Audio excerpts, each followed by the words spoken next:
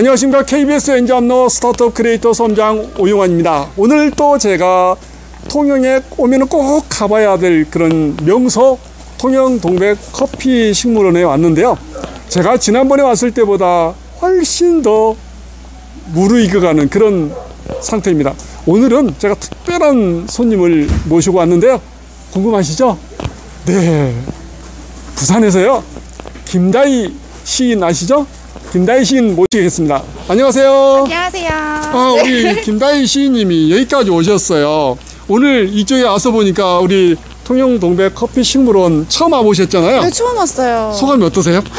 세상에 이런 곳이 있다는 거 처음 알았다니 너무 신기해요. 아, 그래요?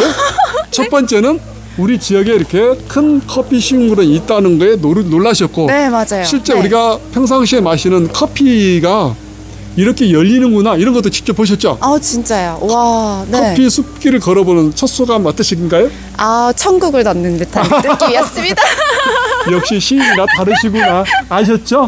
천국을 걷는 그런 느낌 커피가 파란 것도 있고 빨간 것도 있고 노란 것도 있고 이런 본 것을 느낌이 좀 어떠세요? 아, 색깔이 이렇게 커피 색깔이 뭔지도 몰랐는데 네. 초록 색깔도 있고 노란 색깔도 있고 빨간색도 있고 네. 익어가면 이게 약간 뭐 블루베리 색깔도 되면서 아 이렇게 익어가는 거구나. 아 오늘 진짜 처음 알고 오늘 신세계였습니다. 너무 감사합니다.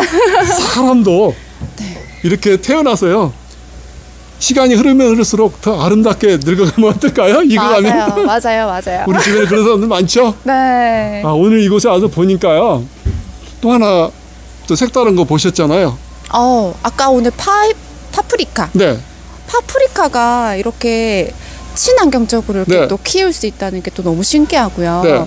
어, 아까 여- 영상으로 담으시겠지만 네. 너무 멋진 것 같아요. 네. 그렇죠. 네. 근데 또 하나 또 있죠. 이게 뭐예요? 손에 들고 바나나, 있는 게? 바나나, 이 바나나. 바나나가 네. 여기서 직접 열리는 거잖아요. 아, 그러니까요. 이것을 직접 우리가 따서 먹어볼 수 있는 먹어볼까요? 체험. 네, 그럼 막 이게요. 필리핀이나 인도네시아에서 온 게 아니라 이곳 대한민국에서 직접 국산입니다. 네. 재배해가지고 수확한 거 바나나 맛을 직접 보도록 하겠습니다. 우리 김다희 씨부터 먼저 드셔보세요. 먼저 먹어도 될까요? 네. 어, 네. 음, 이거 배를 타고 오지 않아서 그런지 왠지 더 싱싱하고 맛있어요. 달아요. 방부제도 안 들어갔다 그래요. 달아요. 방부제 들어갈 일이 없잖아요. 그러니까요. 이거 네. 배가 오랫동안 타, 배, 타, 배 타고 오는 것도 아니기 때문에. 음. 근데 이거가요. 바나나를 주, 제로 해서 반려식물이라는 단어를 제가 이곳에서 봤거든요. 아, 그러니까요. 그런 거 네. 느낌 어떠세요? 반려동물만 들었지 반려식물은 처음 들어봤는데 이 바나나를 분양을 할 수 있다는 거예요. 헉, 진짜 반려식물인 거죠. 어, 너무 좋은 것 같아요. 여기 꼭 구경 한번 와보세요. 식물원인데 엄청 크고요. 바나나도 볼 수 있고 파프리카가 직접 크는 것도 볼 수 있어요. 그리고 바나나 체험도 꼭 해보시기 바랍니다. 와, 바나나 꽃도 보셨죠? 어, 네.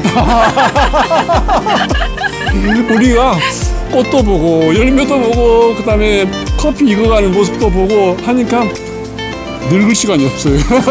그렇죠? 아마 그 동안의 비결이 저는 잠, 잠만 잘 자시는 게 아니라 매 순간을 이렇게 즐기셔서 그런 것 같아요. 네. 우리 김다희 시인이 또 오니까 제가 마음이 막 설레이고요. 뭔가 좀 새로운 힘이 솟아나는 그런 느낌이에요. 어, 저 오늘 정말 이렇게 와줘서 너무 고맙습니다. 아, 저도 감사합니다. 제가 그만큼 늙을 시간이 없어서 좋은 거예요. 실제 와서 보니까 네. 이런 게 잠깐 좀 숲길도 걷고 음. 바나나 익어가는 꽃이 피고 열매 익어가는 그런 모습도 보고 네. 파프리카 우리가 일상에서 보는 것들이잖아요. 네. 마트에 가 보면은 바나나도 있고 파인애플도 있는데 막상 이곳에 와서 보니까 커가는 모습을 보니까 새로운 또 분위기가 나오잖아요. 네, 네. 근데 그런 부분을 봤을 때 정말 우리 주변에 갈 곳도 참 많고 어, 대한민국이 맞습니다. 정말 살기 좋은 곳이라는 걸 아, 다시 한번 느끼는 거죠. 살기 좋은 나라, 어, 살기 좋은 곳이고 여기 통영, 여기 커피 식물원 꼭 와주시기 바랍니다. 우리 저 김다희 시인께서 부산도 좋지만 이곳에 와서 보시고 통영이라는 곳이 이렇게 매력적이라는 곳을 이렇게 다시 한번 느끼고 가는 아? 그런 곳이에요. 앞으로 부산에 가시거들랑 통영에 이렇게 아름다운 명소가 있다는 걸 가슴에 꼭꼭 새겨놓고 네, 그 알겠습니다.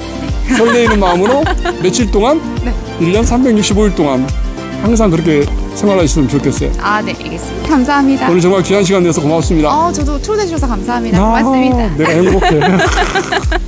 자, 지금까지 KBS 엔잡너 스타트업 크리에이터 섬장 오용환이었습니다. 고맙습니다. 고맙습니다.